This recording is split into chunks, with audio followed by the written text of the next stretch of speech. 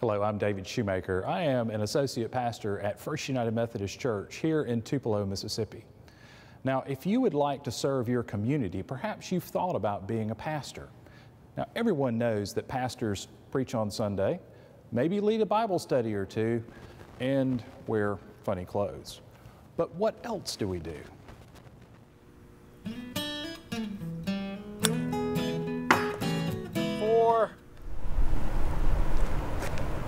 We also spend a good bit of time going to visit people in the hospital.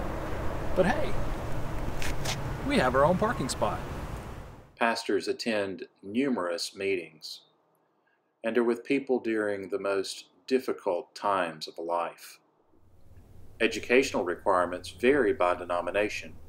Most United Methodist pastors need a bachelor's and a master's degree. There are many things that we get to do as pastors that we enjoy, such as weddings. But one of our greatest joys is being able to do baptisms.